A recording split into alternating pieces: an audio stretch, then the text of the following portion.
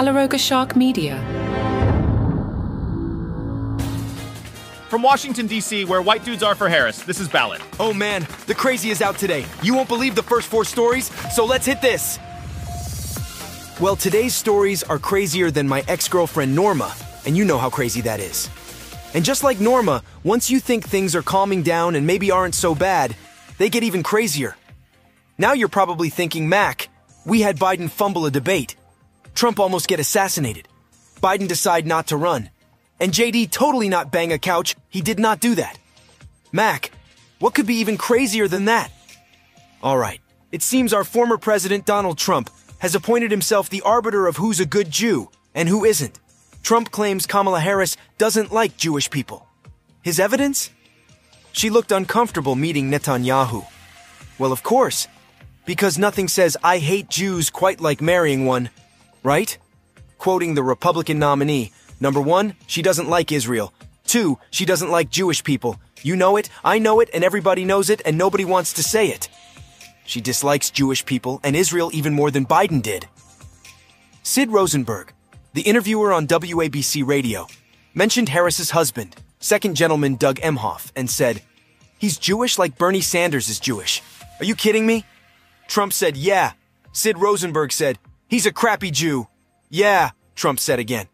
And let's not forget Trump's sage advice to Jewish voters if you vote Democrat, you're a fool. Ah, yes, because nothing says, I respect Jewish people like telling them how to think and vote. Christians won't have such issues as to who to vote for, according to Donald. The Don has doubled down on his controversial statement that Christians won't need to vote again if they elect him in November. Here's the breakdown.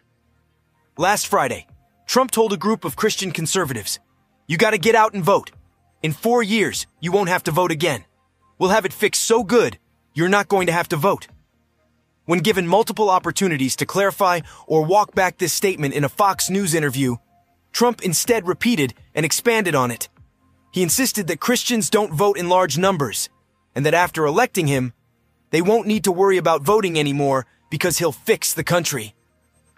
Trump was speaking with Laura Ingraham, who asked Trump to clarify what he meant. Mr. T said, I said, vote for me, you're not going to have to do it ever again. It's true, because we have to get the vote out. Christians are not known as a big voting group. They don't vote. And I'm explaining that to them. You never vote. This time, vote. I'll straighten out the country. You won't have to vote anymore. I won't need your vote. Ingraham offered him another chance. You mean you don't have to vote for you? Because you'll have four years in office. It's being interpreted, as you are not surprised to hear, by the left as, well, they're never going to have another election, she said. So can you even just respond? Mr. Trump cut her off, claiming again that Christians vote in very small percentages, adding, Don't worry about the future. After that, you don't have to worry about voting anymore. I don't care because we're going to fix it. The country will be fixed and we won't even need your vote anymore. Because frankly, we will have such love. If you don't want to vote anymore, that's okay. Trump is all about Christianity this week. It seems the Paris Olympics opening ceremony has caused more controversy than a vegan at a barbecue. The culprit? A tableau that some viewers mistook for the Last Supper, but with drag queens instead of disciples. Because nothing says Olympic spirit quite like mixing religion, Greek mythology, and fabulous outfits, right? Now Trump has weighed in, calling it a disgrace. Apparently in Trump's America, the only acceptable Olympic opening ceremony would involve building a wall around the stadium and making the other countries pay for it. But wait, there's more. The Olympics organizers are frantically trying to explain that it wasn't the Last Supper at all, but a feast for Dionysus, the Greek god of wine. Because when I think international sporting event, I immediately think ancient Greek drinking parties. Hollywood conservatives are up in arms too. Rob Schneider is boycotting the games, presumably because there weren't enough opportunities for him to play every character in the ceremony. Meanwhile, welcome to White Dudes for Harris, the Caucasian caucus, which is the kind of thing I'd make fun of if I didn't have four crazy stories in the first half of the pod. It seems the Harris campaign has discovered a revolutionary new demographic white men. Who knew they existed in politics? I mean, besides, always. Now we've got the dude himself, Jeff Bridges, leading the charge.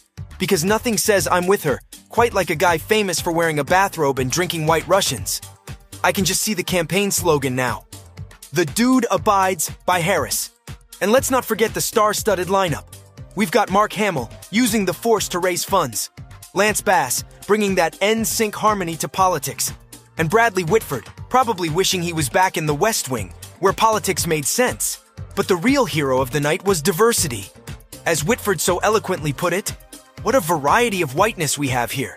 It's like a rainbow of beige. Because nothing says we're breaking barriers quite like a Zoom call that looks like a golf club board meeting. Now, some might say this is just pandering to a demographic, but as Pete Buttigieg reminded us, this is about freedom.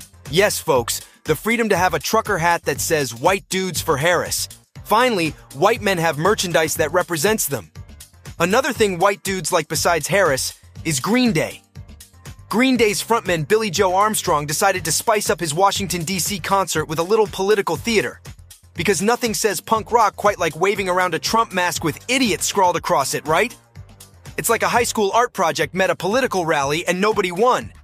Now, timing is everything in comedy, and Armstrong's timing here is about as good as a drummer with no sense of rhythm. Just weeks after Trump narrowly escaped an assassination attempt, Armstrong decides to play dress up with a Trump mask. It's like he's trying to win the most tone deaf performance award at the Grammys. And let's not forget the lyric change from American Idiot to I'm not part of a MAGA agenda. Wow, Billie Joe, way to stick it to the man. Nothing says rebellion quite like slightly altering the lyrics to your two decade old hit song. Meanwhile, Senator Kyrsten Sinema, who was reportedly at the concert, has remained silent on the incident. I guess she's taking the hear no evil, see no evil, speak no evil approach to politics these days. But the real kicker? Republican Representative Tim Burchett tweeted that Green Day used to be anti establishment, now they are the establishment. Burn. What a crazy day. Even crazier than that time my ex girlfriend Norma asked me to send her a picture of every meal I ate to make sure I was eating correctly. Portions of today's show were made with the help of AI, but interestingly enough, not the parts about Trump and the Jews, Trump and the Christians, white dudes for Kamala, or even the Green Day story. That was all real. See you in the morning or in five minutes when Harris picks her VP, which the way things are going is likely to be my ex girlfriend Norma.